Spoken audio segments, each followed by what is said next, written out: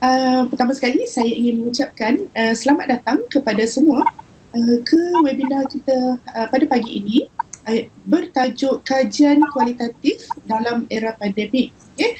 Uh, dan uh, pada hari ini dipostkan oleh uh, Pusat Pengujian Pengukuran dan Penilaian iaitu salah sebuah uh, pusat keceplangan di Universiti Utara Malaysia uh, saya sendiri uh, seperti anda boleh lihat di skrin uh, saya ialah Adi Munirah uh, boleh uh, panggil saya Adi dan saya juga mempunyai rakan uh, speaker pada hari ini iaitu Dr. Intan uh, Sania Sulaiman uh, daripada Pusat Pengajian Sains Kuantitatif mungkin sebelum uh, saya start saya boleh um, uh, sedikit mengenai uh, pusat pengajian uh, pengujian pengukuran dan penilaian iaitu Center for Testing, Measurement and Appraisal.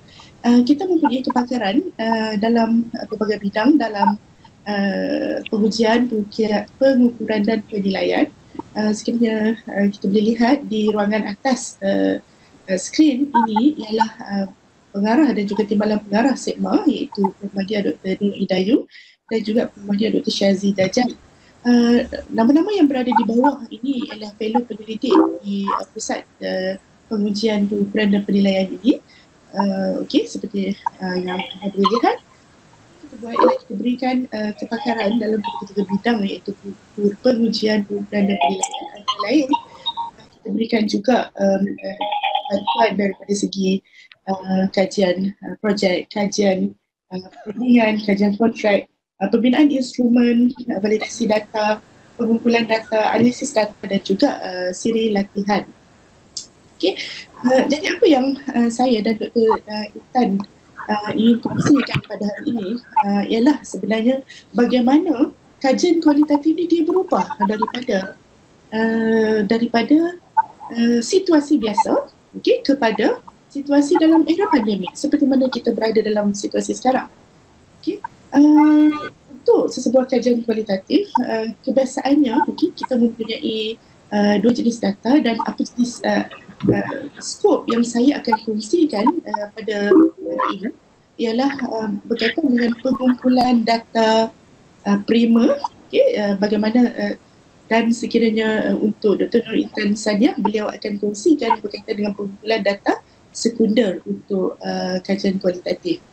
Okay saya mulakan dulu dengan uh, bahagian uh, saya iaitu pengumpulan data dalam untuk data primer uh, very common okay? dalam situasi biasa bagaimana yang kita boleh laksanakan kalau kita lihat uh, di uh, screen kita boleh laksanakan one to one berdepan okay? di mana kita boleh uh, berkomunikasi berinteraksi dengan uh, peserta kajian kita okay? untuk berbual ataupun untuk kumpulan berfokus, fokus group seperti mana yang kita boleh lihat sedang bercakap, sedang memberikan idea dan sebagainya untuk kita mengumpul data yang kaya, data yang rich okay, uh, untuk kajian kualitatif tersebut atau kita juga boleh berperhatian, kita boleh pergi ke uh, lapangan untuk mendapatkan data dan sebagainya. Okay. Uh, namun uh, dengan perubahan yang berlaku pada hari ini, okay, uh, uh, dikejutkan dengan jalan pergerakan yang telah di uh, di uh, dihebahkan ataupun diarahkan oleh uh, Perdana Menteri kita sendiri uh, di mana kebanyakan kita sekarang berada di rumah duduk di rumah uh, melainkan kita terlibat dengan bidang-bidang yang uh, essential okay. kita juga um, uh, terdedah kepada penyakit berbahaya uh, dan kita diarahkan untuk melaksanakan penjarakan sosial kita perlu kuarantinkan diri uh, kita uh, berikan sekatan uh, kita uh, pihak polis sekali membantu kita dengan membuat sekatan jalan raya bagi mengelak uh, perubahan uh, apa kita berpindah daripada satu uh, negeri kepada negeri yang lain dan juga larangan keluar daripada daerah. Okey. Uh, lanskap untuk melaksanakan kajian kualitatif, untuk pengumpulan data berbentuk kualitatif ini dia akan uh, berubah. Okay. Jadi oleh itu kita perlu mengubah strategi untuk menjalankan kajian kualitatif ini tidak seperti biasa. Sekarang kita perlu sedar bahawa ada dalam era pandemik di mana kita uh, dalam situasi yang seperti tadilah kita tidak boleh bergerak dan sebagainya. Hmm. Oleh itu, uh, apa jenis perubahan yang kita nak uh, laksanakan ini? Uh, antaranya ialah strategi yang kita perlu fikirkan ialah bagaimana untuk meneruskan Munduran apa kucing-kucing. memaksimalkan penggunaan ICT okay? dan pada masa yang sama ialah untuk bagaimana untuk mendefend ataupun justify Jadi uh, instrumen ataupun design itu sendiri okay? sampai ke kita ni. uh, uh, Dan kita tu ada Roblox tu. saya rasa ada yang Ha? uh, di sini uh, Di apa tu? Di luar tu. audio Di luar di selepas selepas simpangan pek tu. ah. Sampai ke kita. Kalau kita confirm kita tetap. Masuk lah. uh, begitu tulis kepada seorang saja Itu bagi orang kekuatan itu tangkuk itu. Okay. Ha, gambar. strategi apa yang uh, kita uh, perlu fikirkan sekarang ialah bagaimana untuk memaksimalkan penggunaan ICT untuk menjustifikan uh, penggunaan instrumen tersebut. Pada masa yang sama kita juga masih perlu untuk etika penyelidikan. Sekiranya sebelum ini yang biasa maka kita ada rules of ethics yang kita perlu follow. Uh, tapi uh, ketika uh, dalam era pandemik ni mungkin certain ethics rules tu kita masih boleh pakai tapi ada lagi tambahan rule-rule ethics yang lain yang uh, saya akan brainstorm idea uh, pada ketika ini. Okay. Uh, dan of course juga melibatkan dari kita menggunakan internet, World Wide Web, uh, mungkin kita uh, akan isu uh, terlibat juga dengan isu keselamatan kita. Uh. Mungkin saya boleh Okay, alright.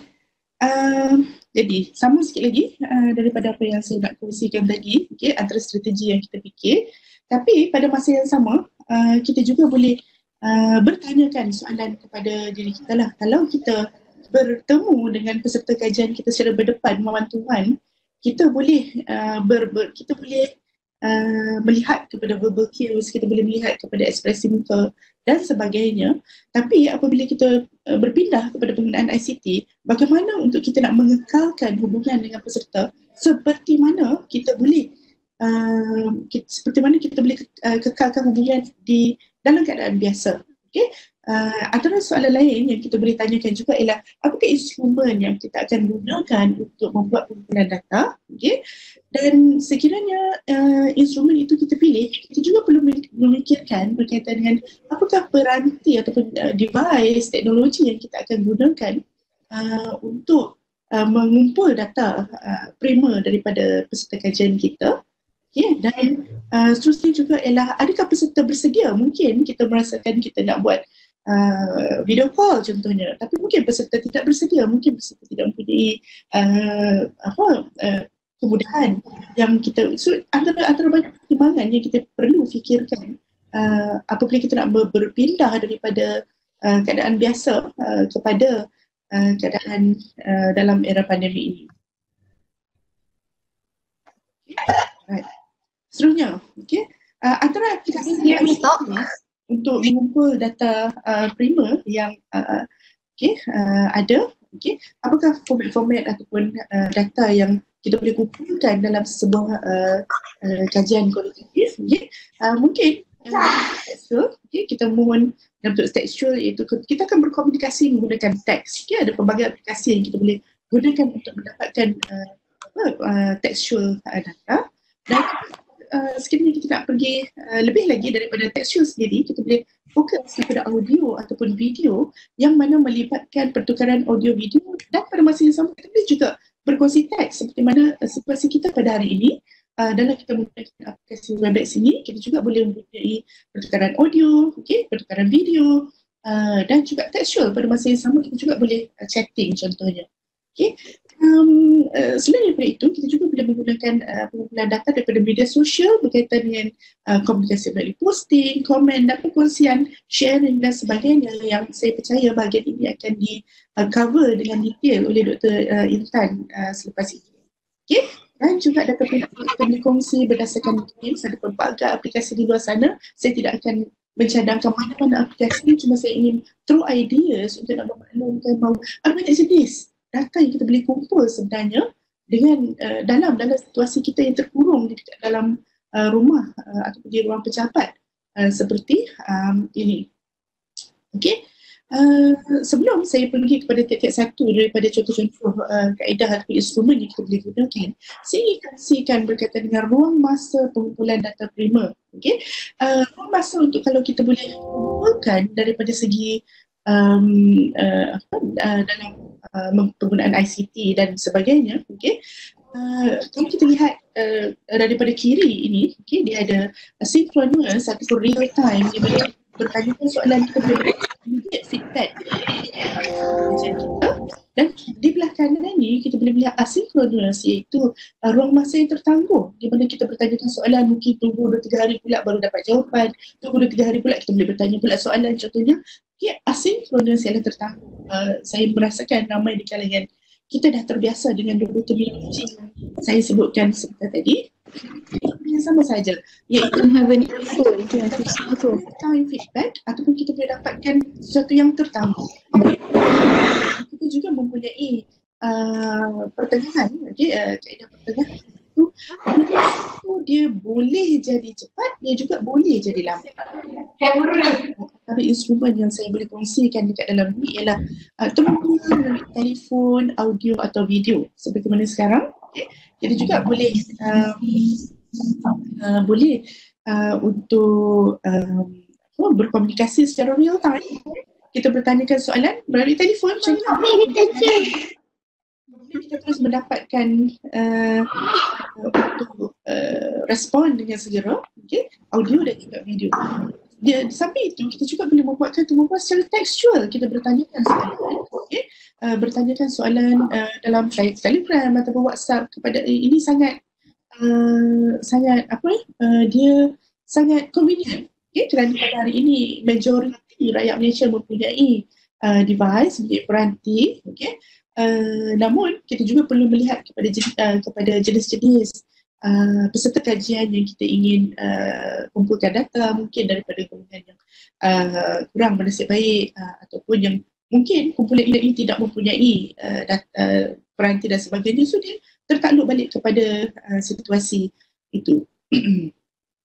Okey. Uh, telegram ataupun whatsapp okey uh, manakala kalau kita move on sedikit ke pertengahan iaitu ruang masa tidak terlalu real time tidak terlalu tertangguh tapi dia adalah pertengahan it could be cepat it could be lambat okey ialah kaji selidik atas talian online survey kita rajin melihat dalam tempoh masa sekarang ni Uh, kita akan melihat uh, asyik-asyik link survey, asyik-asyik link survey juga diberikan. Ini ialah kerana uh, ini ialah satu kaedah yang sangat mudah okay, untuk nak mendapatkan immediate feedback daripada kawan-kawan tapi dia ialah uh, lazimnya kalau kajian atas tanya ni dia lebih kepada soalan berstruktur lah okay? berbanding soalan uh, mungkin separuh berstruktur di mana kita boleh bertanyakan soalan dalam survey tersebut dan uh, apa peserta kajian akan memberikan uh, jawapan mereka. Okay. Dan kalau kita lihat di sebelah kanan ni ialah asynchronous iaitu uh, jawapan daripada peserta kajian secara tertangguh okay, ialah berkaitan dengan uh, contohnya instrumen yang kita boleh gunakan ialah email. Okay, kita email dan uh, ataupun kita postkan surat. Okay. Uh, of course dalam waktu sekarang ni yang mudah ni ialah kita hantarkan email ataupun uh, uh, kita postkan uh, surat tu akan mengambil masa sikit lah dalam tempoh uh, era pandemik ni mungkin ada setengah negeri ataupun negara yang uh, hentikan teruslah perkhidmatan pos mereka. Okay. Uh, selain itu kita juga boleh uh, kumpulkan data dari segi um, uh, diary, journal dan reflection yang mungkin kita minta uh, pelajar siapkan reflection ataupun kita minta peserta kajian kita siapkan reflection Uh, sediakan diary dan sebagainya pada uh, apabila tiba masanya kita boleh kita boleh analisa data-data tersebut. Okay. Uh, very quickly saya ingin pergi kepada satu persatu daripada uh, jenis uh, instrumen yang saya ada sebutkan tadi. Okay. Uh, ini kita semua sangat familiar. Okay. Kerana ini juga lah sesi yang mana kita ada sekarang iaitu panggilan persidangan video ataupun video call, video conference okay, uh, di mana kita boleh buat secara perseorangan iaitu one to one interview seperti mana kita boleh lihat di sini ini ialah contoh satu interview yang baru saja kami uh, jalankan uh, minggu lepas okay. dan ini juga pada minggu lepas je saya nak berikan contoh di sini di mana kita boleh melihat visual uh, peserta kajian kita Okay, dan pada masa yang sama kita boleh bertanya soalan dan kita boleh mendapatkan real time kerana masing-masing walaupun berada di tempat yang berlainan, kita boleh connect, okay, berada di tempat yang uh, berada dalam satu meeting room untuk kita saling berdiskusi. Kalau kita lihat, uh, dia ada pros and cons, eh? saya telah uh, senaraikan di sebelah sini di sebelah kiri sini iaitu pros and cons. Uh, prosnya kita boleh uh, bila menggunakan visual. Dia seperti mana kita membuat uh, berbual uh, face to face, one to one. Okay? Uh, kita boleh melihat uh, uh, body language, kita boleh maintain eye contact contohnya. Okay? Dan yang paling penting dia adalah real time. Apakah kelebihan kalau kita buat real time data collection ni? Kita boleh menggunakan sebarang jenis soalan uh, untuk pengumpulan data sama ada soalan itu berstruktur, soalan secara berstruktur ataupun soalan tanpa struktur. Uh, manakala uh, kekurangan kalau kita menggunakan kaedah ini ialah ia memerlukan komitmen masa daripada peserta lah kerana kita perlu match timing uh, peserta kajian dan juga kita sendiri okay? dan kalau kita buat ramai-ramai macam uh, video call dengan ramai-ramai jadi dia, dia seperti fokus group kita bertanyakan soalan dan uh, respon yang diberikan oleh peserta kajian tu dia akan kita nak dapatkan mereka dalam satu meeting room tu mungkin memerlukan satu dugaan jugalah. Okay?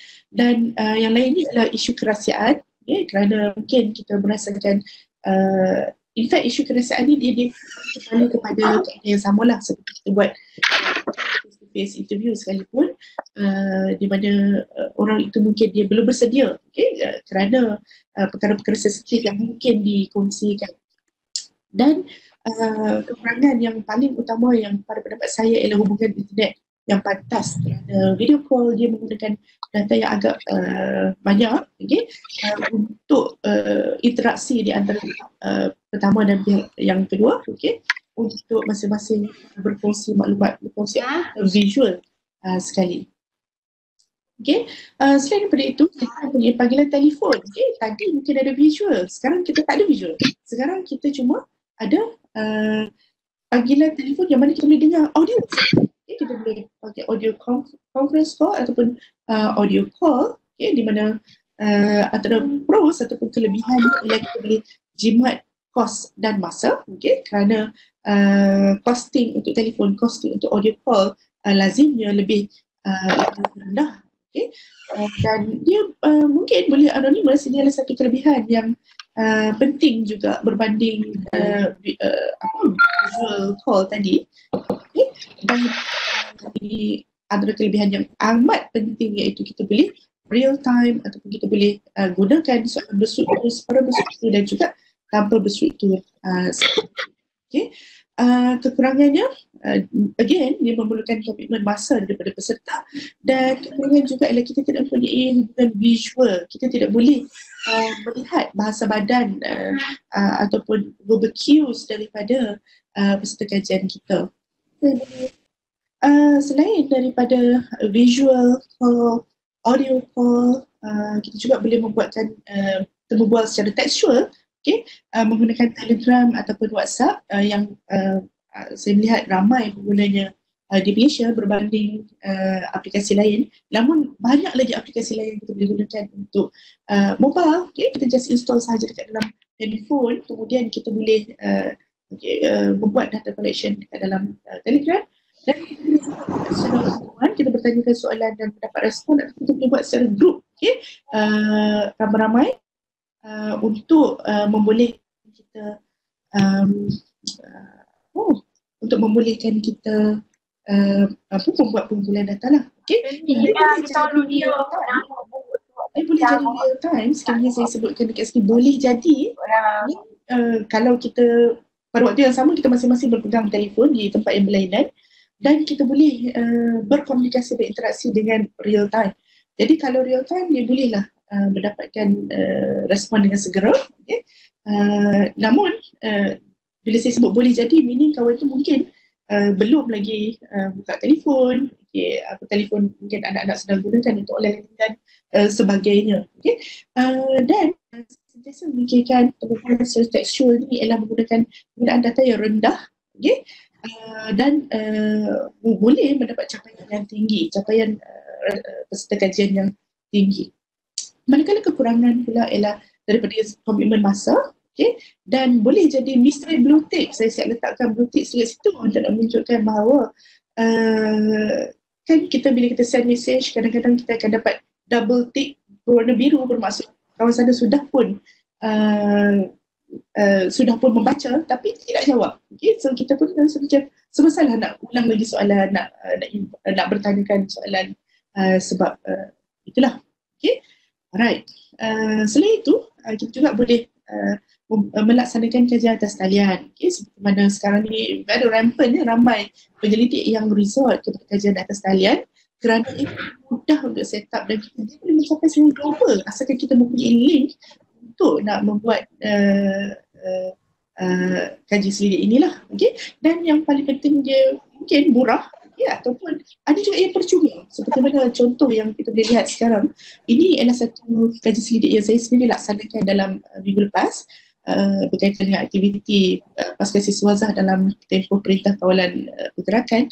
Uh, dan dalam masa setengah jam uh, kita telah mempunyai uh, respon sebanyak 73 uh, peserta. Namun uh, apa uh, banyak banyak kelebihan yang kita boleh dapatkan okey? Uh, antaranya ialah dia uh, jawab okay, uh, menggunakan peranti uh, sama ada laptop ataupun smartphone okey asalkan punya uh, internet. Dan uh, dia lazimnya seperti ini menggunakan kelajuan rendah lah internet kelajuan rendah. Namun uh, kekurangan kalau kita menggunakan gaji di atas talian ini uh, ialah kita bergantung kepada kesediaan responden untuk menjawab hingga selesai. Kalau kita bagi terlalu banyak soalan, kalau kita bagi soalan yang terlalu susah untuk nak jawab, okay? kenapa saya kata susah? Kerana lazimnya untuk kajian kualitatif ni kita bertanya soalan terbuka. Okay, apa pendapat anda? Uh, apa cadangan anda? Uh, bagaimana untuk nak menyelesaikan masalah ni? Contohnya kan soalan-soalan yang terbuka ni, uh, lazimnya dia akan mengambil, jadi satu dugaan jugalah untuk uh, uh, untuk untuk mendapat sebarang respon uh, uh, sehingga selesai. Okay. Uh, dan akhir sekali kita juga boleh uh, uh, menggunakan uh, email uh, ataupun surat post. Okay. Email sangat simple. Ramai orang rasa mempunyai email pada hari ini. Kita boleh test email. Uh, dan responden boleh menjawab mengikut masa mereka sendiri. Okay. Email tu dah tersimpan dekat dalam laptop, uh, dalam email server masing-masing dan bergantung kepada kita nak menjawab lah. Uh, responden untuk menjawab. Uh, dan kadar anonymity yang tinggi. Okay. Kerana uh, dia boleh uh, mungkin kita tidak uh, okay, kita bersurat dan sebagainya dan peserta boleh menjawab okey ulangan di sini uh, mengikut masa mereka. Dan kekurangannya ialah mungkin mengambil masa yang lama okay, kerana responden boleh menjawab mengikut masa mereka kita pula masih menanti okay, dan uh, kerana dia adalah respon tertangguh okay, dia, dia tidak real time. Kita bertanya soalan tunggu sampai kita dapat balik okay, uh, dan kadar pulangan yang agak rendah lah kerana dia melibatkan banyak proses. Uh, kita jawab kemudian kita reply email atau kita jawab kemudian kita post sebulan dan sebagainya. Uh, tambah-tambah lagi dalam keadaan era pandemik sekarang lah. Okay lagi sekali saya ingin kongsikan berkaitan dengan uh, diary ataupun journal uh, reflection okay uh, di mana kita uh, sediakan satu diary mungkin. Mungkin boleh buat online, offline dan sebagainya. Okay. dan antara kelebihannya ialah Uh, dia melibatkan data yang detail ataupun fokus kerana dia penulisan terbuka tapi kita sediakan reflection video. Okay, tiap hari dia buat reflection video, uh, video, dan sebagainya. Apa nanti bila datang kita analisa apa yang pengalaman ataupun pembelajaran yang di di uh, di dipunyai lah oleh uh, peserta kajian kita. Dan yang paling penting peserta boleh menjawab mengikut masa mereka sendiri juga. Namun seperti mana instrumen-instrumen lain, uh, kon, uh, antara kekurangannya ialah mengambil masa yang agak lama uh, kerana respon yang ter uh, dari segi uh, asinkronus ini. Uh, sebelum uh, saya serahkan kepada sesi ini kepada uh, Dr. Intan, uh, saya ingin sebut satu saja topik iaitu berkaitan dengan isu etika penyelidikan. Okay. Uh, kajian kualitatif secara umumnya kita mempunyai banyak etika okay, untuk nak melaksanakan uh, menjanjikan perasaan dan sebagainya menggunakan data itu untuk tujuan kajian sahaja contohnya. Uh, namun apabila kita telah berpindah uh, online okay, dalam uh, internet dan sebagainya, maka dia ada tambahan lagi. uh, etika-etika tambahan seperti contohnya komunikasi langsung. Okay? Uh, komunikasi langsung ni direct communication ya. kita sama ada kita one to one communication, one to many communication atau kita hantar email direct kepada peserta kajian ataupun kita hantar telegram ataupun uh, message WhatsApp kepada uh, fokus kepada someone okay? bah, sudah tentu kita perlu menyebut berkaitan dengan persetujuan termaklum ataupun informed consent. Okay? Uh, informed consent ini bermaksud apabila seseorang itu menyatakan kesediaan untuk uh, menjadi peserta kajian kita, maka uh, beliau sepatutnya tahu apakah tujuan data itu digunakan, berapa lama akan digunakan untuk uh, disimpan dekat mana dan sebagainya, apakah kekurangan ataupun kelebihan yang dia akan perolehi ya, dengan bersetuju sebagai peserta kajian kita. Okay, ini ialah kerana uh, contoh ya, uh, email yang kita hantar, WhatsApp yang kita hantar itu di mana dia disimpan sebenarnya. Okay, selama mana data tersimpan dalam rakaman, okay, video call ataupun audio call dan selama mana ia disimpan dekat dalam email. Okay. Adakah email itu bila sampai, kita terus simpan saja dekat dalam email kita. Mana dia disimpan sebenarnya? Adakah maklumat sensitif uh, yang dinyatakan? Okay. Uh, selain daripada komunikasi langsung, uh, direct kita juga uh, mempunyai SIG Special Interest Group ataupun forum ataupun media sosial. Okay. Uh, again, uh, isu etika kita boleh maklumkan ialah persetujuan termaklum jugalah. Uh, kita tidak boleh masuk ke dalam satu group uh, forum kemudian bertanyakan soalan dengan harapan dapat jawapan itu untuk digunakan untuk kajian kita. Kita kena maklumkan apakah tujuannya saya bertanyakan soalan ni, apakah tujuannya dan setuju atau tidak saya menggunakan data ini kajian saya dan sebagainya lah. Dan again, isu yang sama selama mana data itu tersimpan dalam special interest group ataupun forum ataupun media sosial tersebut. Okay? Dan uh, penting untuk kita lihat kepada uh, terms of service ataupun TOS untuk Facebook contohnya, Instagram contohnya, WhatsApp, uh, Telegram group dan sebagainya kerana kita uh, lihat juga data bagaimana data yang disimpan dekat dalam grup ini diuruskan oleh Uh, pihak penyedia perkhidmatan. Okay. Uh, bagaimana dengan kajian atas talian? Kalau kajian atas talian ni uh, online uh, sedia tadi, again, uh, very often kita akan berikan soalan dan kita akan tanyakan nama saya Ella Adi Munira, saya buat kajian apa dia, uh, uh, funded by siapa, okay, dan sekiranya mempunyai sebarang uh, uh, you, uh, di, voluntary boleh, boleh ambil masa dalam 10 minit contohnya okay? dan uh, again mana-mana aplikasi ataupun laman web yang kita gunakan untuk kajian data talian itu, kita juga perlu merujuk kepada terms of service, okay? Uh, yang disediakan oleh um, oleh uh, uh, Google Form contohnya, oleh SurveyMonkey contohnya, okay? Dan uh, isu etika pendidikan yang terakhir yang saya ingin sentuh pada hari ini ialah dengan data internet ataupun laman web Kadang-kadang kita Google dapat maklumat. Kadang-kadang kita pergi ke laman web ni, oh menariknya maklumat ni saya nak uh, untuk kajian saya dan sebagainya. Amat penting untuk kita mengenali data-data laman web yang kita lawati ni, adakah ia sebenarnya open access? Okay, akses terbuka, kita boleh pakai. Uh, adakah ia royalty free? Yeah, yang mana kita boleh tidak perlu kita tak nak nanti kita ter terperangkap dengan isu-isu seperti plagiarisme dan sebagainya lah. Okay, penting untuk kita kenal pasti siapakah pemilik data tersebut. Adakah uh, internet service provider? Adakah penulis itu? Atau adakah penerbit kepada laman web itu? Uh, contohnya kan. So siapa sebenarnya yang memiliki uh, data tersebut dan mungkin jenis lesen itu data tersebut. Ini bukan lesen, ini salah type. Jenis lesen, lesen uh, mungkin dia ialah Creative Commons lesen. Ini you can use it. Kita boleh gunakan. Adakah dia sesuatu yang kita boleh gunakan dengan um, uh, dengan tanpa uh, adakah kita perlu berikan attribute okay? ataupun atau kita tidak perlu berikan uh, attribute. Okay. Ya itu dia ada kuliah lah Nek. Anda. Okay. Right. So, uh, semua rujukan lanjut. Uh, tadi saya lihat ada soalan yang ditanyakan bolehkah kongsikan slide, bolehkah kongsi video. Uh, saya yakin uh, pihak SEGMA akan membantu untuk uh, mendistribute uh, uh, slide-slide yang saya gunakan uh, dan Dr. Uh, Intan gunakan untuk tadi dan juga rakaman kita pada hari ini. Okay. Uh, sebarang soalan nanti mungkin saya akan uh, type sementara Dr. Intan sedang uh, sedang uh, memberikan penerangan. Jadi saya harap anda semua tidak jadi seperti kucing ini pada hari ini. Adakah semua orang sedang mengantuk di hadapan komputer masing-masing? okay, jenuh saya Google ni ha, nak dapatkan Creative Commons uh, royalty free image untuk uh, saya harap anda semua tidak uh, mengantuk. Harap uh, anda dapat satu maklumat baru uh, pada hari ini dan uh, saya ingin uh, pass uh, the baton to uh, Dr. Intan kerana beliau akan uh, memberikan uh, penerangan berkaitan dengan data sekunder.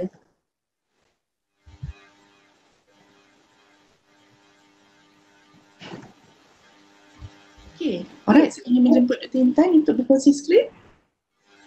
Okay, Assalamualaikum. Uh, terima kasih Dr. Ani. Uh, atas jemputan ini. Uh, sekejap eh, saya akan cuba share uh, slide saya. Slide saya agak unik sikit.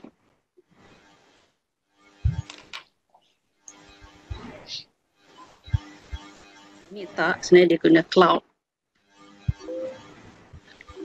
Okay. Okay ya, nampak eh? Okay, so nampak. Okay. Okay, Assalamualaikum dan Assalamualaikum warahmatullahi wabarakatuh dan selamat pagi semua. Terima kasih Dr. Ani Munira atas jemputan untuk berkongsian pengalaman. Saya melihat kepada peserta, Alhamdulillah hampir mencecah 200 orang. Jadi, uh, Okey. Wow. Uh, saya lebih kepada nak berkongsi pengalaman saya menjalankan kajian kualitatif uh, dalam so- media sosial. Okey. Sebenarnya media sosial ni lebih kepada data sekunder. Uh, dan hari ini mungkin saya akan cuba berkongsi sedikit sebanyak, sebanyak uh, ke arah era pandemik ya. Apa itu era pandemik? Era, uh, era PKP lah. Okey. Kalau untuk Malaysia konteks ni kita diperintahkan untuk berkurung di rumah. Jadi mungkin dari situ uh, menurut Anita uh, Anita kata uh, slot ni mempunyai ramai uh, banyak permintaan eh. Jadi mungkin kita sebelum ni kalau dalam data premier, uh, sorry data sekunder, uh, sorry data premier mungkin face to face lebih kita rasa lebih afdal. Tapi dengan uh, situasi yang kita alami sekarang ni uh, data premier juga terpaksa di online kan seperti mana yang telah dikongsikan oleh Dr. Ani tadi.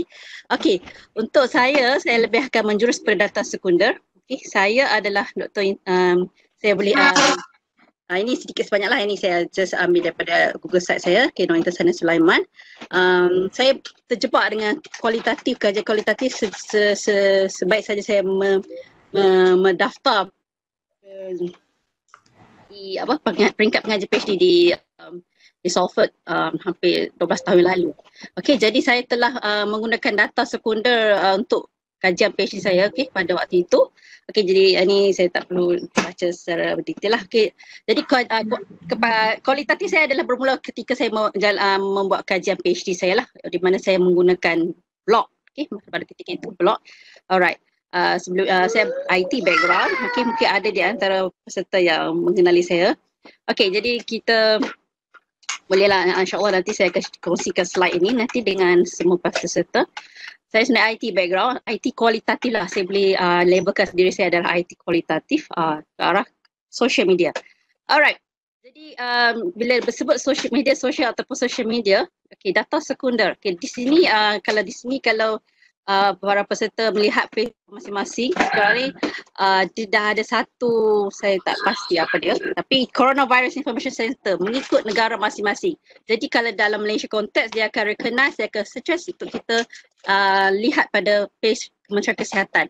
Alright, jadi ini dah uh, memang uh, Facebook juga cakna dengan apa yang berlaku uh, di uh, tentang coronavirus ini sendiri kan dengan era pandemik ini.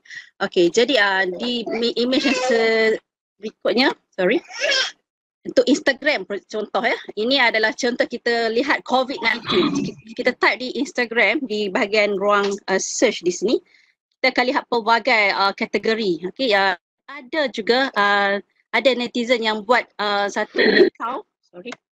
Malaysia underscore COVID-19 dan ada blogspot mungkin dia meng, uh, meng, mengumpulkan semua maklumat tentang COVID-19 saya saya um, uh, saya jangkakan.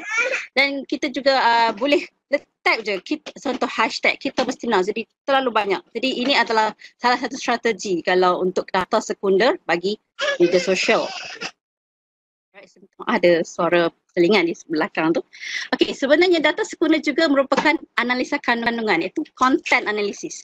Okey, sebelum ni saya juga ada um, memberi uh, beberapa training untuk content analysis di bawah statistik consultant uh, di school of, uh, di school saya lah di SQS. Jadi menurut Newman sebenarnya content analysis atau analisis kandungan ni sebenarnya adalah teknik untuk kita mem- mengumpul dan menganalisa kandangan teks. Jadi saya rasa kalau untuk orang yang bidang uh, bidang literature, bidang komunikasi dan setengah bidang memang analisa kandungan bukan satu perkara baru bagi mereka. Okay? Jadi uh, contohlah untuk kan, uh, bidang literature, bidang um, linguistik dan sebagainya, buku novel merupakan data, uh, memang data yang mereka selalu gunakan bidang komunikasi sebagai contoh mereka mungkin digunakan surat khabar, uh, iklan, ucapan dan sebagainya. Jadi sebenarnya um, data sekunder ni terlalu banyak. Ada di um, setiap hari kita melihat data sekunder itu. Okay, jadi sebenarnya untuk uh, analisa kandungan yang saya cuba kongsikan pada hari ini, saya lebih kepada untuk menganalisa konteks, okay, ataupun teks ataupun gambar, simbol itu uh, itu juga termasuk dalam kontak analisis. Okay. Mungkin ada di antara kita memahami bahawa kan, analisa kandungan adalah teks. Okay. Jadi kalau kita tengok program pun, uh, saya selalu merhatikan selepas tamat sesuatu program dalam TV, dia ada satu uh, um, kata insan yang apa uh, pra, uh, watak yang uh, watak uh, bahagian uh, kan analisa kandungan apa yang menyediakan konten program tersebut. Okey jadi kandungan ini tak semesti hanya teks. Okey ia juga boleh dalam bentuk visual, media perbualan macam sebagaimana yang telah dinyatakan dari Dr. Ani tadi kalau WhatsApp, Telegram lebih kepada perbualan. Okey, jadi kita juga boleh melihat menganalisis uh, kandungan melalui perbualan itu sendiri. Okey, jadi um, saya mungkin lebih menjurus kepada analisa kandungan teks. Okey, apa yang saya telah um, lalui um, telah pernah jalankan beberapa kajian sebelum ini, bukan hanya waktu pandemik, waktu pandemik mungkin uh, masih berfikir apa sesuai untuk uh, untuk saya sendiri uh, memang kepada teks, okay? Teks itu posting, okay? Uh, kalau kita faham posting dalam Facebook ataupun dalam Instagram, mungkin kalau Instagram sebagai contoh, Instagram kalau uh, bagi uh, generasi uh, generasi uh, anak-anak kita, mereka lebih kepada uh, Instagram kerana banyak visual kerana mereka tidak mahu berfikir banyak. Jadi itu juga boleh kita analisis, okay? Uh, mungkin dalam uh, untuk uh, akademia bahagian industri kreatif dan sebagainya dan sewaktu dengannya akan melihat kepada um, memandang Instagram itu adalah satu uh, platform untuk mereka meng, uh, me, mengumpul data yang berkaitan.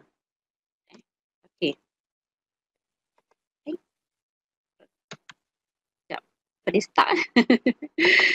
Alright. Okay. Ini lagi, lagi uh, detail lagi. Okay, contoh eh. Tadi saya uh, letak baru letak je. Okay. Contoh kalau kita letak COVID-19 di Instagram, dia akan merangkumi satu dunia.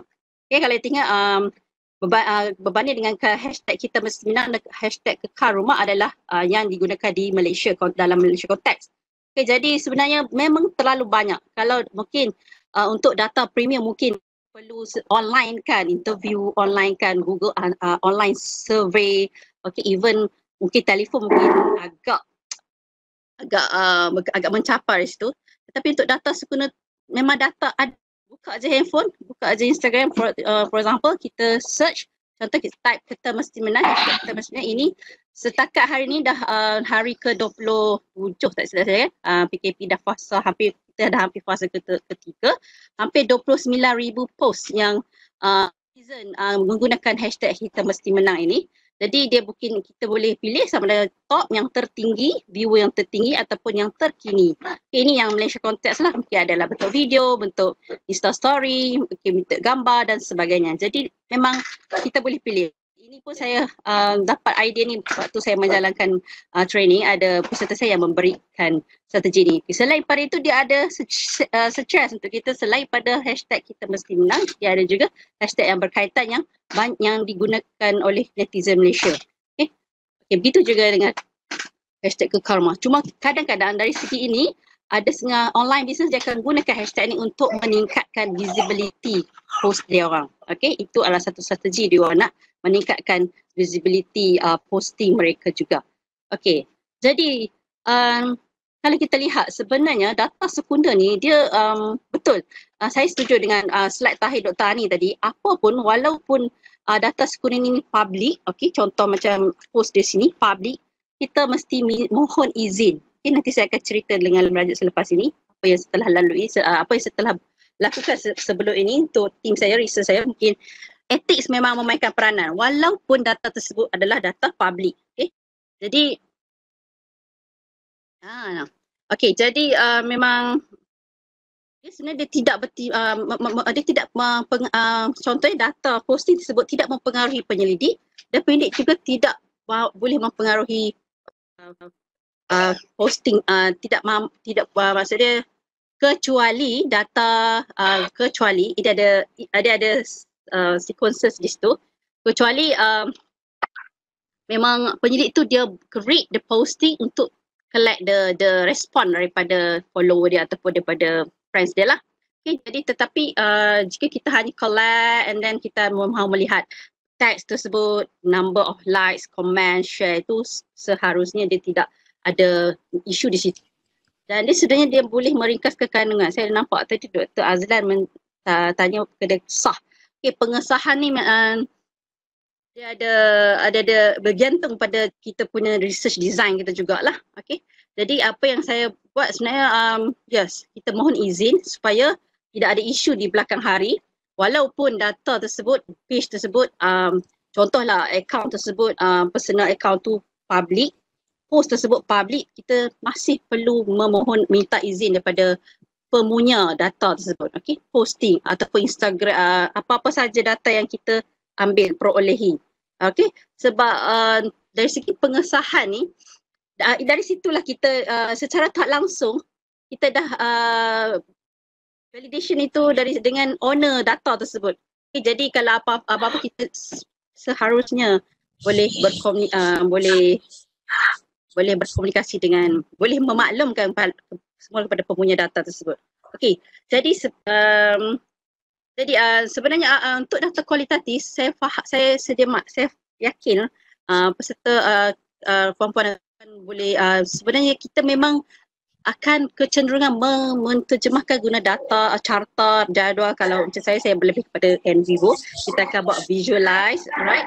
Mapping dan dia ada banyak ikut-ikut jenis analisis yang kita mahukan. Okay, sebab kita tahu data sekunder contohnya macam misalnya data memang besar. Kita perlu memain, penyelidik mem, perlu memainkan peranan untuk skupkan data tersebut. Okay, contohlah Facebook. Uh, contoh saya perlu setkan time. Okay, uh, time contoh tiga bulan, dua bulan, sepuluh hari untuk posting sebut sebab kalau jika uh, kita mengambil daripada uh, netizen ataupun pemunya account sebut yang memang setiap hari dia post dalam 7-8 posting so memang sangat banyak lah okay, dan ini uh, sangat bermanfaat. Okay, uh, untuk data-data topik-topik yang kita sukar untuk capai kalau tanpa social media sosial. Contoh macam sekarang COVID-19 kan. So uh, okay, kita boleh follow Kementerian Kesihatan kalau kita tidak ada staff uh, saudara mara yang bekerja. Kita masih boleh dapat data daripada kita boleh maklumat melalui Kementerian Kesihatan punya uh, media sosial.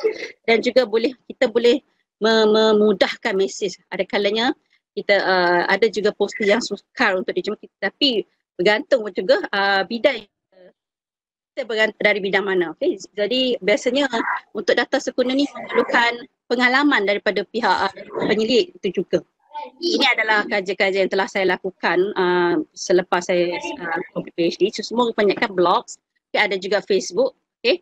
Uh, saya cuba saya start uh, gunakan uh, guna data Facebook ni tahun 2014 iaitu menggunakan uh, page lah. Page okay. Facebook page uh, seorang akademia academician okay, uh, ni blog pada zaman uh, blog student okay. dan again memang kita mohon concern daripada student. Bagaimana kita untuk online survey begitu juga untuk data sekunder walaupun data tu dah sedia ada. Mungkin ada yang tertanya-tanya macam mana nak beza data primer untuk media sosial dan data sekunder untuk media sosial? Okay, uh, mungkin kita um, okay, contoh ini kan uh, ini contoh nanti saya akan uh, halusi lagi dalam data slide seterusnya okay, ini media sosial dan ini grup okay? mungkin saya rasa ramai yang familiar dengan grup masa apa hari ini gaya business review dan sebagainya. Terlalu banyak grup, okay? Sangat banyak grup. Saya juga telah uh, pernah melihat kalau untuk postgraduate grup pun terlalu banyak. Okay, jadi uh, dia mem, uh, admin memainkan, memainkan peranan okay? uh, jadi untuk contohlah dalam kalau bidang masakan kalau penyelidik bidang masakan mahu melihat resepi boleh buat research dalam uh, grup ini sendiri jadi mungkin kita nak tanya siapa, nak minta izin dekat mana ni? Kita kalau untuk grup kita mohon izin daripada admin grup tersebut. Untuk kata kita akan membuat kajian, kita akan melihat, mengambil posting-posting yang tertentu dari uh, jenis apa dan sebagainya ter- bergantung pada jenis kajian yang kita nak lakukan. Jadi sebenarnya mungkin uh, ada setengah orang ada agak skeptikal dengan media sosial, mungkin dengan terlalu banyak fake news yang kita tahu, Dr. Azra nanti kongsi tentang fake news mungkin. Jadi sebenarnya sekarang ni pun ada satu link uh, sebenarnya Dok Mai, mungkin kita boleh check di situ juga. Okay, sebenarnya dia ibarat pisau juga lah. kan? Kalau kita menggunakan di tempat yang betul, insyaAllah kita dapat manfaatnya. Tapi kalau kita menyalahgunakan, kita akan mendapat pelbagai masalah lah. Okay, so, uh, mungkin ada juga yang mengatakan bahawa uh, media sosial ni boleh menyebabkan kita leka. Itu memerlukan disiplin dan uh, jati diri ataupun uh, uh, komitmen masing-masing yang kental lah dalam terutamanya dengan era pandemik ni kita banyak seorang work from home untuk mak-mak ni memang memerlukan disiplin sangat tinggi lah sebenarnya. Okey, okay, ini contoh eh, salah satu contoh data yang telah pernah saya uh, collect daripada salah satu page uh, NGO Third Force. Mungkin ada di antara uh, kawan-kawan peserta di sini pernah dengar The Third Force pengasas Dr. Raja Shamri. Saya memang mohon izin daripada beliau. Memang saya ada communicate dengan beliau bahawa saya memang akan ambil data ini. Masa saya buat kajian daripada Third Force ni adalah waktu banjir besar. Uh, 4 tahun lepas kan kita tahu Kelantan uh, mengalami banjir besar pada waktu itulah saya mengenali uh, page beliau dan sampai hingga ke hari ini memang dia uh, sekarang ni dengan era pandemik ini memang um, Third Force memang membuat uh, bantuan lah okay, NGO yang memang sentiasa konsisten memberi bantuan. Jadi uh, pada waktu itu saya melihat kepada uh, the number of like, comment, share. Nanti saya akan share juga salah satu kertas kerja yang saya hasilkan uh, daripada apa collection data daripada page data uh, Raja Syamri ni sendiri. Selain itu saya juga ini salah satu satu uh, another page okay uh, oleh salah seorang academician uh, sahabat saya juga ini di Universiti Teknologi Malaysia. Uh, okay, okay. Ini saya boleh bagi contoh-contoh. Ini data premier untuk beliau. Okay, contoh Dr. Siti ni dia ada tanya soalan di uh, dalam satu post dia dan uh, follower beliau memberi feedback. Untuk beliau, data inilah data premier sebab dia yang menanyakan soalan tersebut. Okey, dia ada tanya sini bisnes terjejas akibat wabak COVID ini. Tetapi bagi follower beliau, data tersebut adalah data sekunder kerana bukan kita yang menanyakan pada follower beliau. Kecuali kita masuk, okey, mohon izin kepada Dr. Siti macam contoh DSG kan, selalu kita lihat Dr. Red Group ada ada soalan-soalan yang telah di, diberi, um, dinyata, di, di, diberi um, dengan mohon izin admin lah kan. Uh, jadi itu kalau kita sendiri penyelidik sendiri yang bertanya dan mendapat feedback itu data premium.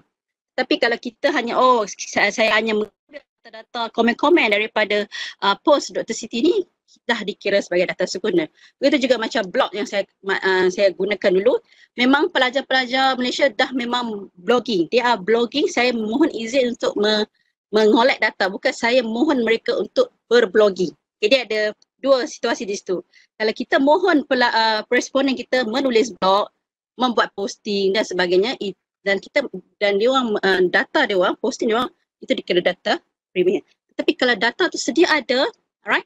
Jadi uh, data itu memang bukan arahan daripada penyelidik, bukan permintaan penyelidik, itu dikira data sekunder. Saya pun juga uh, ini juga satu um, saya pun benda ni um, perdebatan jugalah bila saya membuat um, setiap kali membuat WK banyak uh, peserta bertanyakan soalan ini. Okay, jadi uh, media sosial ni dia boleh dari, boleh jadi data premium, dia boleh juga jadi data sekunder. Cuma saya uh, untuk konteks saya uh, saya melihat saya mengumpul data yang sedia ada. Maknanya sedia ada yang dipost oleh uh, pemunya akaun tersebut, pemunya Facebook, admin dan sebagainya lah. Okey ini Sorry ya. Okay, ini satu contoh ini uh, kajian yang saya Sengaja teknik saya, mana saya melihat uh, pelajar master saya mengolek data, mengumpul data dari posting um, online business entrepreneur. Okey, ini saya saja nak berkongsi bahawa jika video, macam mana kita nak macam mana kita nak um, collect data tersebut. Macam mana kita nak uh, nak nak simpan data tersebut. Okay? Jadi uh, contoh uh, post ini dia ada video. Kita boleh ambil, uh, saya rasa okay, ada ramai yang tahu. Dia ada, ada atas sini, tiga titik kita boleh klik tu dia akan keluar uh, keluar link ni. Kita boleh ambil save video. So kita boleh see dalam kita punya Facebook. Sebenarnya dekat Instagram pun ada cara ni juga. Kita boleh save dalam kita punya collection untuk kita kaji uh, ataupun kita analisis video tersebut. Ini untuk konteks video lah tapi saya tak uh, untuk konteks saya saya tak sampai ke tahap itulah. Okey ini salah satu teks. Okey ini salah satu uh, doktor perubatan yang sentiasa mencakna dengan isu semasa. Ini mungkin ada di antara kita men- tengah mencari ilham. Saya hanya uh, ni posting dia yang agak terkini. Apa yang berlaku? Dia cuba membuat refleksi.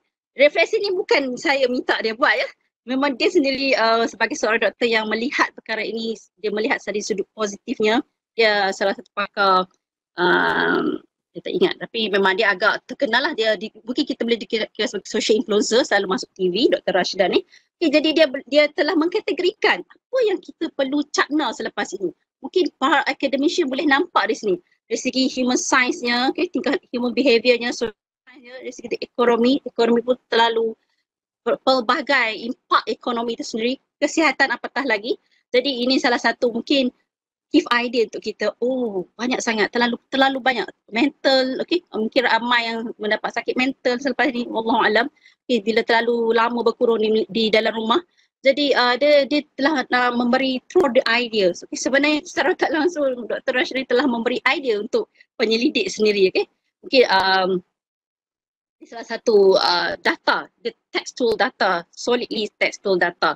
Mungkin sebenarnya ramai, sebenarnya bukan saja Dr. Rashida, ramai lagi uh, doktor-doktor yang memang selalu menulis, selalu memberi informasi yang kita sendiri tak tahu. Dan dia juga selalu buat Insta, apa, sorry, FB Live jugalah. Alright. Okay, ini yang ini yang saya maksudkan tadi, salah satu kerja yang telah saya uh, hasilkan beberapa tahun lalu okay, uh, based on Dr. Raja Hamid, saya hanya nak highlight kat sini saja di mana saya, ini initial study sebenarnya study masih tak berakhir lagi, ada ada masalah sedikit. So uh, pada awalnya kami cuba menganalisis 30 post. Nampak sikit tapi post tu dia punya nilai contohnya nilai like dia sangat um, banyak lah okay. Dia punya richness of the data tu sangat uh, significant. Okay, dia based on knowledge sharing behavior theory mana saya melihat pada theory of behavior, okay, social theory dan ya. Yeah. Okay, jadi uh, sebenarnya kami melihat kepada likes dia, the number of likes. Okay, kenapa uh, likes dia kalau menyentuh emosi netizen dia akan meningkat nombor likes dia, comments. Okay, comment dengan share tu kami hanya lihat pada number of comments dan share lah. Tapi dia memang mempengaruhi jika posting itu menyentuh perasaan netizen, comments akan meningkat dan begitu juga dengan share. Jadi uh, itu satu uh, contoh. Satu lagi contoh yang Dr. Siti tadi, di mana saya pada waktu itu 2014 masih belum ramai academician menggunakan social media. Uh, jadi uh, satu lagi uh, mungkin ramai juga yang tahu saya saja nak mengingatkanlah dah untuk kajian kualitatif ni dia tidak boleh digeneralisasikan. Maksud saya di sini, walaupun saya dapatkan kajian uh, untuk uh, kajian ini, uh, kami dapati bahawa akademia ini selalu berkongsi tentang informasi, motivasi, personal experience dan program-program klinik-klinik yang telah dia jalankan. Tidak bermakna akademia akademia lain juga membuat sedemikian. Jadi uh, disebabkan itu saya cuba uh, twist kepada uh, disaster uh, hero tadi untuk uh, mana Maksud saya academician ni uh, untuk uh, that's why saya kalau nampak paper ni untuk Facebook usage. Okay, kita bukan nak mengeneralisasikan bahawa okay semua television kena buat macam doktor. Bukan. Tapi saya nampak sekarang ni uh, the trend is there. Okay, uh, uh, even uh, Instagram dan Twitter dan sebagainya. Kerana sekarang ni media sosial ni dah dilihat sebagai satu mekanik apa platform yang sangat signifikan. Okay, ini yang terkini yang saya, saya, saya tak letak pada apa-apa contoh. Saya ini se, sekadar untuk melihat hasil daripada kajian ni. Di mana sini saya start dengan Facebook. Tadi ada contoh tadi. Okay, di mana saya, ini biasanya saya lakukan lah untuk event untuk yang kajian uh, pertama dan kedua tadi. Biasanya saya akan menentukan post. Maknanya baca post, kita kena decide post tu tentang apa, berkaitan apa. Okay, untuk dalam kes ni, dia dalam untuk uh, bila uh, applied behavior di sini bermakna dia dalam kategori social norm ke? attitude ke ataupun uh, apa-apalah. Okay.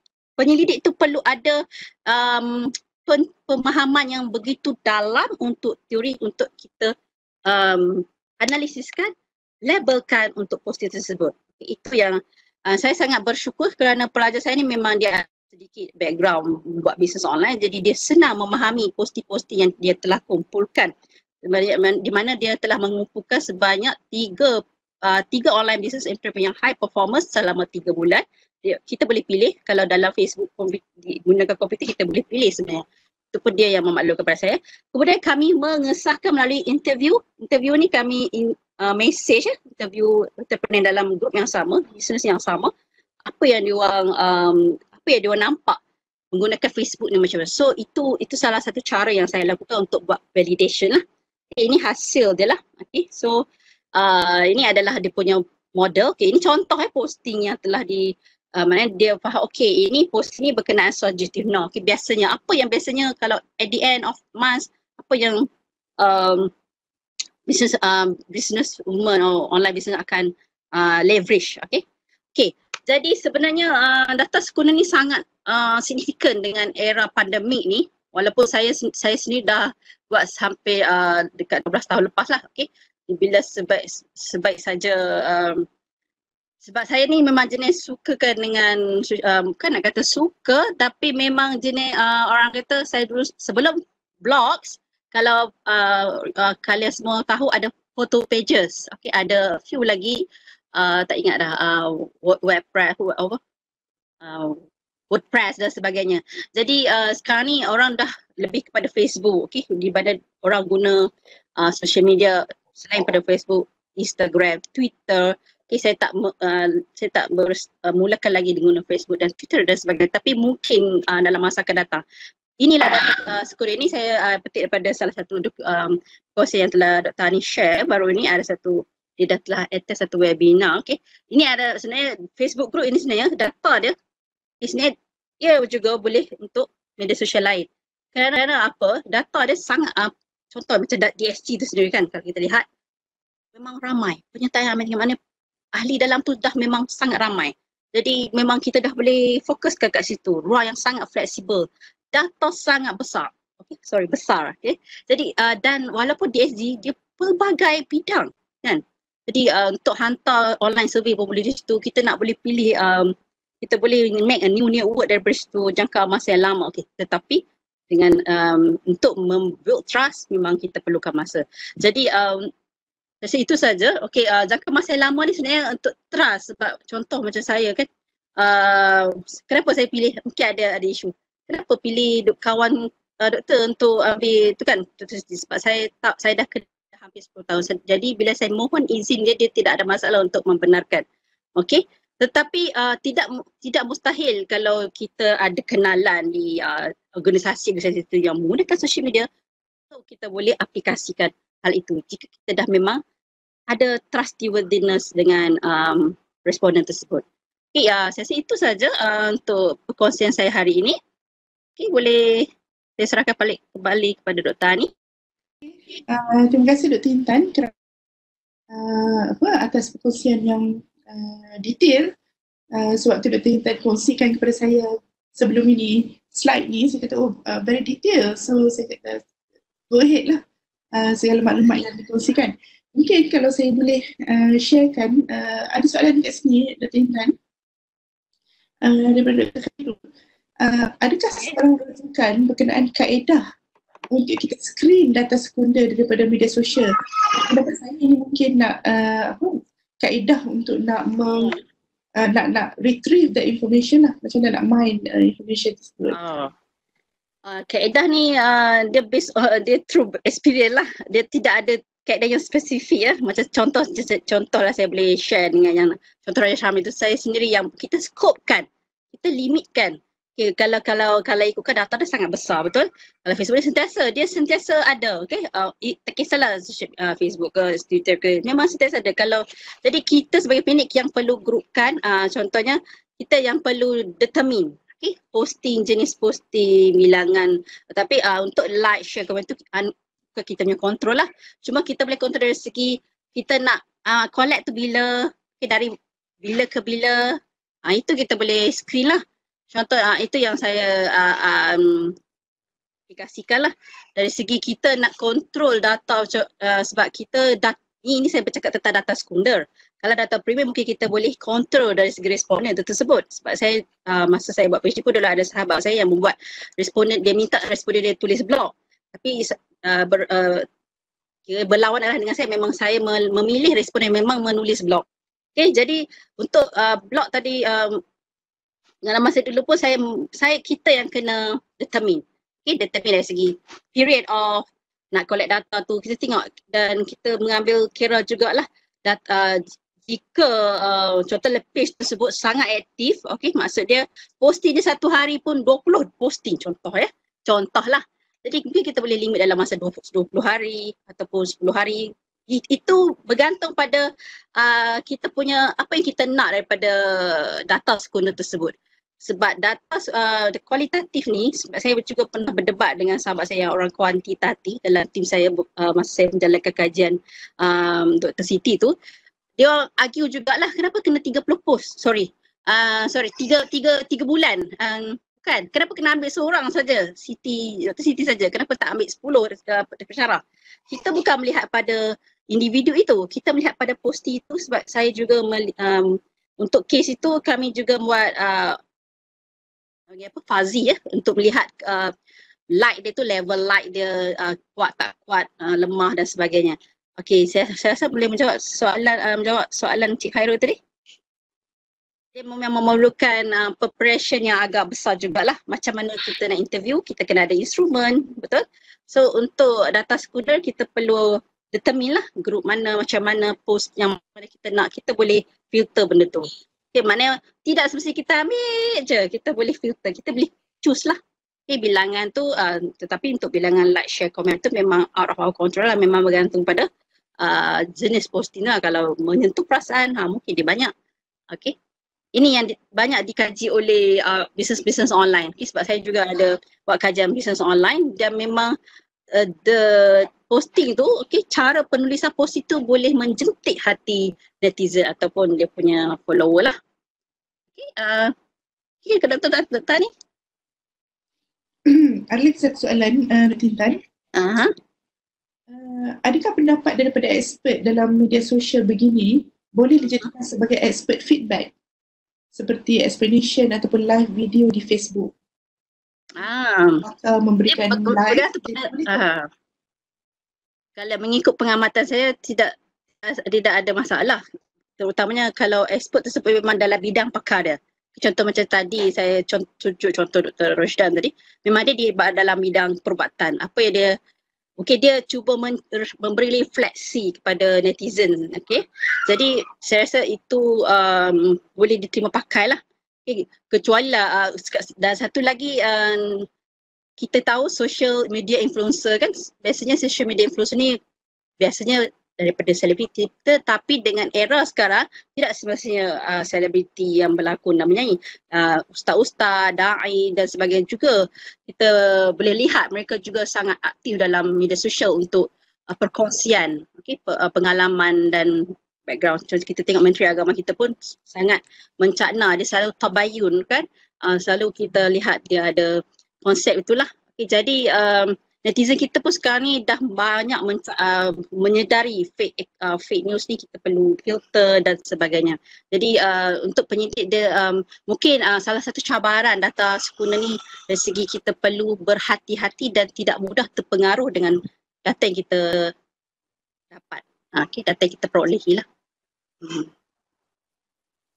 satu soalan lagi. Okay. Apakah yang membezakan content analysis kualitatif dan kuantitatif? Oh, soalan yang sangat menarik. Okey, kalau kuantitatif, content analysis dia, dia lebih ke arah untuk me, ni apa? Contohnya macam dia lebih akan dia akan melihat pada figur figure. Okay, figure mana contoh sekarang ni kan setiap hari media sidang media di uh, KKM dia ada data statistik itu data positif covid itu adalah data kuantitatif lah okay, bagi setengah-setengah orang yang buat modeling, matematika modeling dan sebagainya, dia akan collect data tu, itu pun data sekunder juga. sebenarnya. Okay, jadi dia boleh gunakan untuk buat modeling, buat simulate, simulate data tersebut. Tetapi kalau untuk data kualitatif, untuk content analysis, dia kena mencakna, kena membuat perincian penganalisisan tu sama ada gunakan uh, software ke Atlas ke ataupun dia me, mem, uh, membuat sendiri uh, apa menu analisis dia lebih pada teks okay, teks ataupun video ataupun gambar. So dia punya penganalisisan dia tu tidak boleh bergantung semata-mata kepada uh, perisian MV dan Atlas T. Uh, itu yang saya saya boleh uh, nyatakan di sini lah. Hmm, adakah perlu atau tidak menggunakan business analytic tool untuk ha. pengumpulan data kualitatif? Okey, untuk business analytic ni yang saya lihatlah ada sahabat saya yang memang gunakan data big data eh. okey sebenarnya big data dia ada cara dia guna R semua tu itu dia lebih pada guna semantik yang saya ada nyatakan dalam uh, kursus tadi saya tadi dia ada teknik dia coding dia programming dia ya itu memang bukan kepakaran saya tapi saya saya aware benda tu bahawa ada uh, untuk kualitatif dia dia sebenarnya dia macam contohlah kan kalau kualitatif kita guna content analysis. Tapi untuk ko, uh, science computer for example dia panggil semantic analysis. Okay, jadi um, big data ni kalau data tu kalau kita tak boleh uh, kita ambil banyak okay, contoh macam tadi saya tunjuk hashtag tu kalau setengah uh, penyelidik dia memang ambil semua keseluruhan data tersebut untuk dia, apa panggil apa simulate dalam software yang tertentu lah. Okay, jadi tetapi untuk kualitatif kita tak bolehlah tamak. Kita hanya melihat pada konteks kajian kita mungkin kita hanya ambil sebagai uh, untuk mengkhususkan kita dengan kita kita maklum bahawa kualitatif ni dia bukan untuk generalize. Kita nak lihat kepada kita nak uh, specify pada konteks research question kita dan juga research objective kita. Jadi dia um, perlu uh, lebih pada visualize dan thematize, categorize dan basic saya setuju dengan Dr. Ani sebut tadi uh, grouping data premium. Okey betul uh, untuk data premium memang kita kena ada sampling juga untuk uh, kalau uh, kualitatif ni sebenarnya non probability. Okey macam saya buat untuk uh, masa kerja PhD saya saya buat non probability snowball. Kita ada juga teknik sampling tetapi lebih ke arah non probability sebab kita bukan nak lihat kepada sam- populasi sangat kita nak lihat kepada sampel yang sangat limited lah. Mana dia sebab data dia sangat dalam, mendalam kan kalau untuk interview pun. Cuma kita dia very depth kan. Kalau compare dengan untuk even macam saya ada tengok Dr. Ani share semalam yang soalan terbuka tu mungkin uh, walaupun TA berkatakan uh, memberi respon yang sama dengan CV mungkin konteks tu ada meaning dia yang tersendiri. Jadi uh, kualitatif ni dia lebih pada meaning of meaning. Betul? Betul tak Tani? Anda setuju dengan uh, Dia meaning of meaning. Terminologi itu sendiri kadang-kadang membezakan dalam bidang law, dalam bidang uh, uh, IT, science computer. Meaning of meaning itu sendiri telah membezakan, telah meng, meng, melimitkan untuk kita mengeneralisasikan hasil kita. So selalu uh, itu yang menariknya di situ. Dia tidak sama macam uh, kuantitatif, kita generalizekan dia. Okay. Jadi um, yang saya nampak lah untuk kualitatif. Itulah keindahan kualitatif. Keunikan kualitatif yang kadang-kadang orang kualitatif tak nampak. Dan sebenarnya sedikit sebanyak sebagai satu cabaran untuk kita lah. Dr. Ani, uh, tadi ada juga soalan untuk Dr. Ani. Dia ada tanya pasal memoing Dr. Ani. Tak silap saya memoing. Adakah sama saya, dengan saya tadi? Saya dah follow dan soalan jawapan tu betul lah. Betul kan? Uh, yeah. ni, uh, so sekarang ni kalau sekarang dengan dengan zaman sekarang ni um, Facebook dan Instagram tu sendiri dah sebagai journal juga sebagai journal uh, sebagai diary pelajar. Ada setengah uh, kalau kita lihat generasi digital ni memang dia make it they share everything. They share everything tanpa sepadan. Kadang kita generasi X ni rasa ya Allah itu pun nak share. Tapi itulah generasi digital kita. Kita selalu banyak data yang kita boleh. Cuma macam mana kita nak filter macam mana kita nak uh, make a limit make it scope tu adalah itu um, isu dia lah. Okay, itu antara antara yang boleh kita pertimbangkan. Satu soalan khusus untuk Dr. Intan. Ya saya. Adakah menjadi permasalahan jika kita telah collect data secara manual tetapi disambung dengan collect data secara online? Saya khawatir ia memberi kesan kepada dapatan kajian. Oh, data apa tu ya? Data survey ke, interview ke macam mana tu? Uh, saya berpendapat kalau saya boleh uh, bagi feedback Aha. sikit. Dia saya depends juga.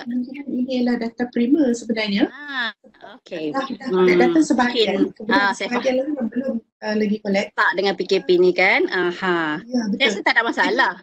Betul. Betul, serius. Ah. Kita kembali kepada apa yang kita nak sebenarnya kan. Kalau Ya, kita betul. nak tu ialah kita nak kandungan data dan bukan interaksi face to face, contohnya kita nak buat observation.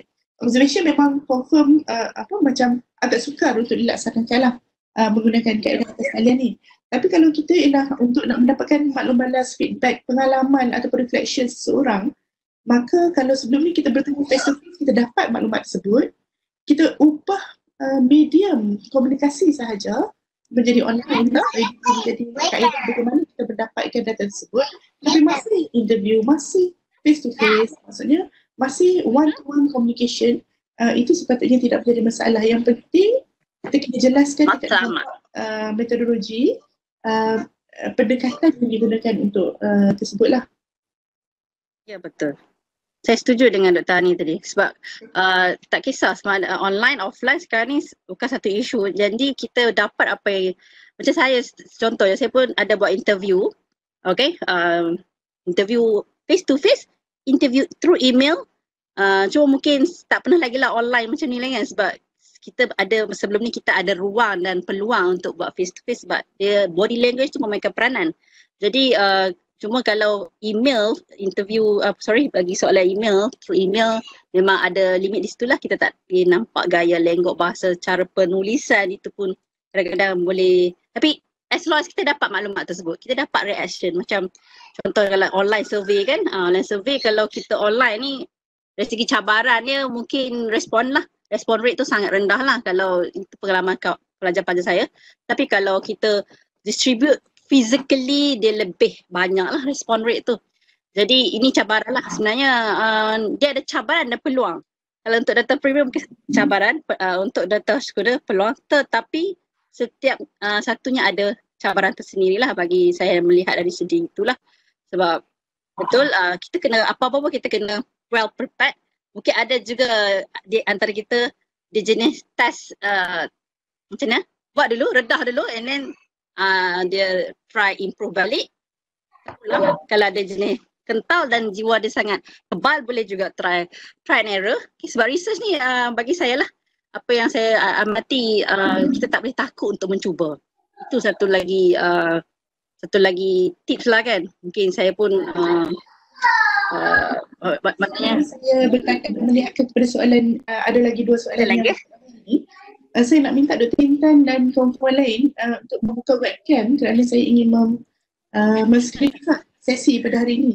masih ramai lagi Dr. Tani ya. Saya ingatkan dah 300. Maklumlah dah tengah hari. Mungkin mak-mak nak masak. Buka buka webcam please. Okey, semua buka webcam. Terima kasih. Uh, satu soalan daripada uh, Ashkin. Okey, oh tak nampak dah.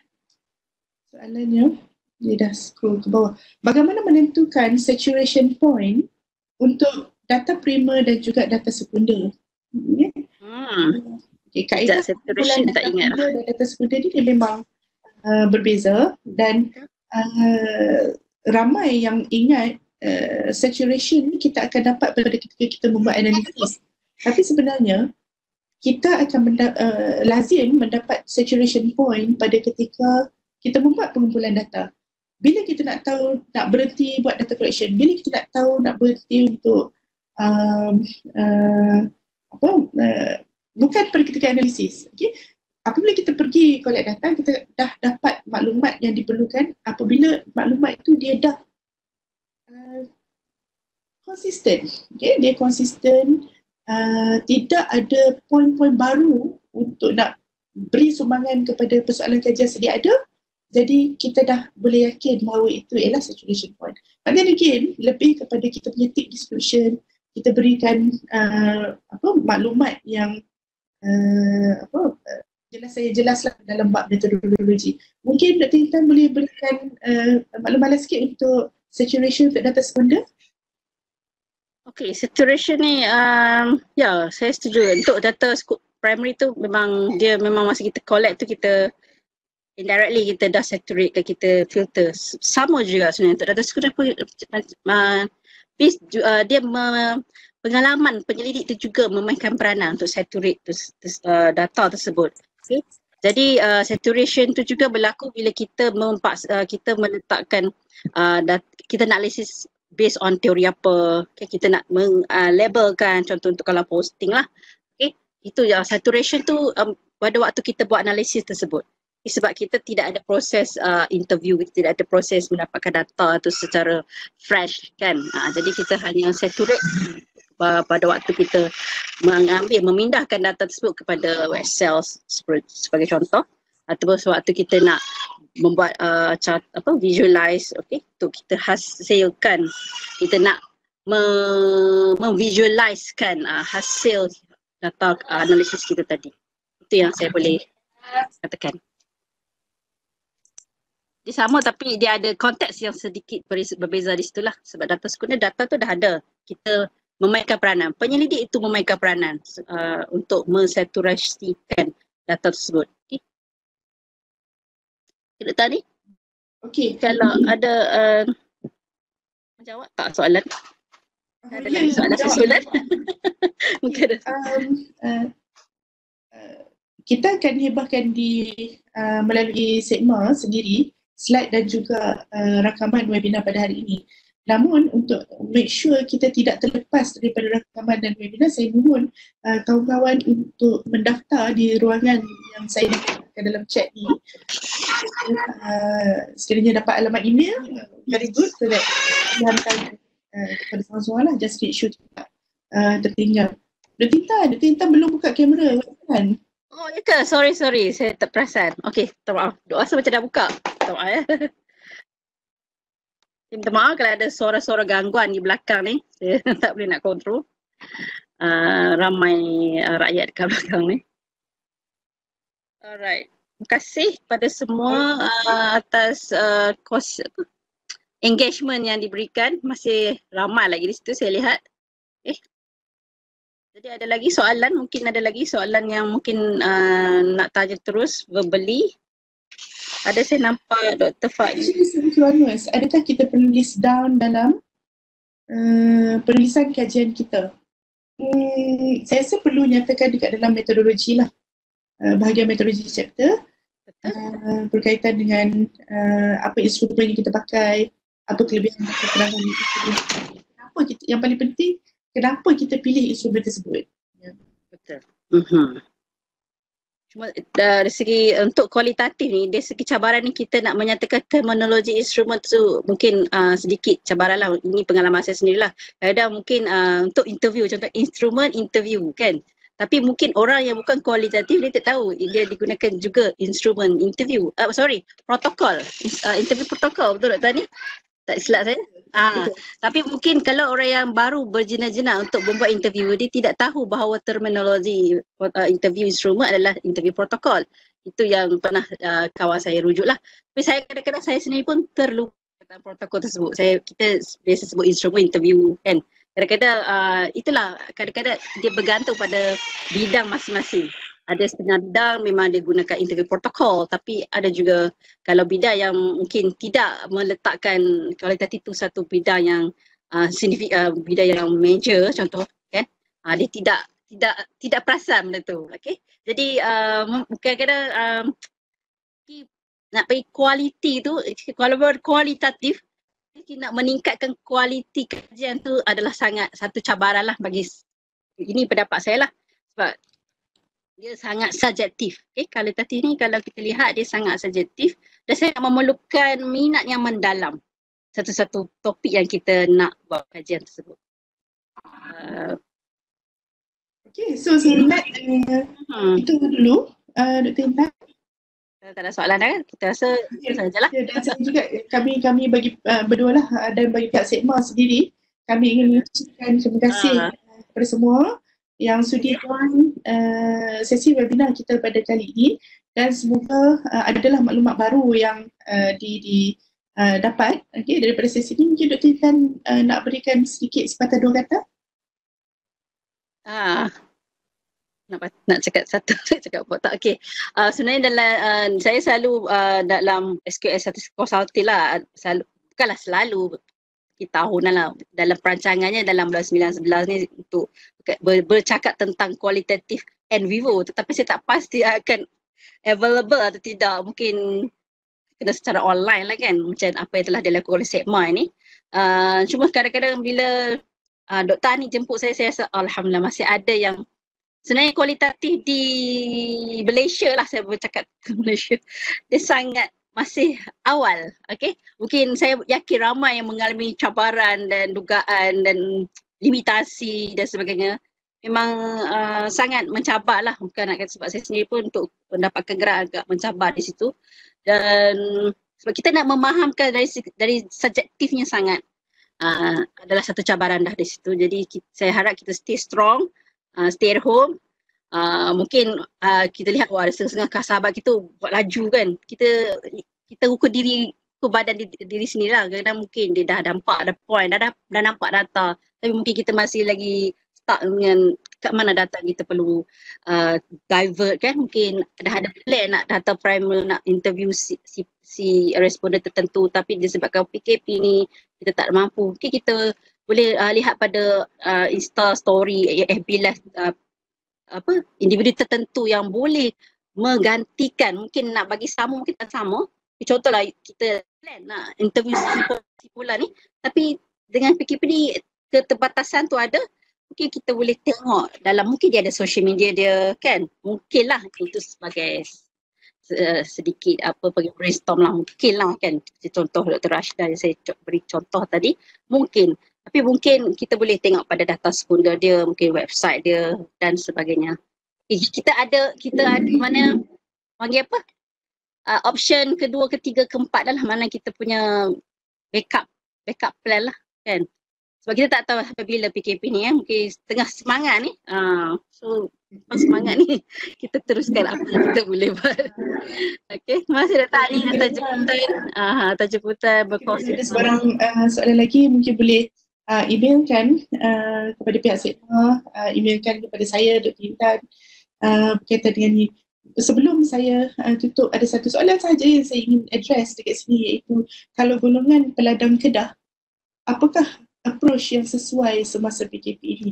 Uh, untuk nak bertemu face to face mungkin agak uh, salah lah uh, untuk kita nak buat uh, data uh, daripada segi itu kan. Uh, namun mungkin uh, boleh tanyakan terlebih dahulu adakah mereka mempunyai kesediaan daripada segi uh, hubungan internet, daripada segi peranti dan sekiranya itu uh, tidak punya masalah bagi mereka maka boleh carry on lah. Uh, namun sekiranya ada uh, apa ada kekangan di situ boleh juga pertimbangkan untuk uh, mengubah instrumen yang digunakan mungkin uh, mengenai soalan uh, secara post uh, dan sebagainya. Hmm. Tapi dia hmm. kembali kepada instrumen apa yang kita ingin capai lah macam yang kita sebut tadi. Baik, okey. Uh, oleh itu saya uh, ingat kita boleh close uh, sesi pada hari ini. Uh, terima kasih semua kerana menyertai semua. Alhamdulillah. Dan, Alhamdulillah, terima kasih. Okey. Alright. Thank you. Thank you Dr. Ani dan Dr. Intan. Sama-sama. Doktor, terima kasih. Terima kasih. Terima kasih sudah join uh, training ni.